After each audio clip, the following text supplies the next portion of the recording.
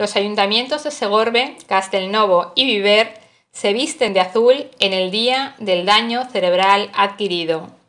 Ayer fue el Día del Daño Cerebral Adquirido y todas las asociaciones se unieron para reivindicar la creación de una estrategia nacional de atención al daño cerebral que garantice la máxima calidad de vida posible a cada persona con esta discapacidad, la elaboración de un censo de personas con daño cerebral que ayude a dimensionar los recursos precisos para la rehabilitación e inclusión social de este colectivo.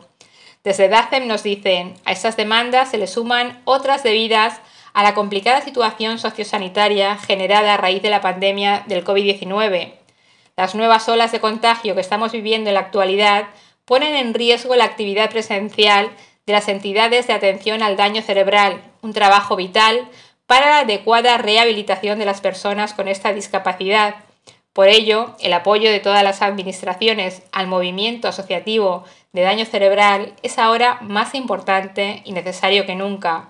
Los municipios de Segorbe, Castelnovo y Viver se vistieron de azul en apoyo a este colectivo.